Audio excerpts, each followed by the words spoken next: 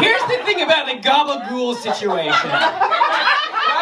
I legitimately thought there was that moment a couple months ago when everyone just rewatched The Sopranos for some goddamn reason, and people like on Twitter were like gabagool this, gabagool that, and I thought someone had made up a word to make fun of Italian people, and I was like, finally, we're doing it, and.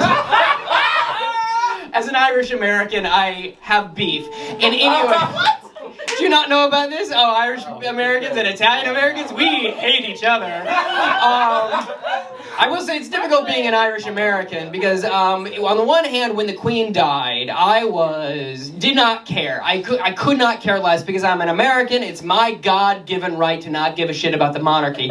But as an Irish person, oh, it was a great day that day. Yeah!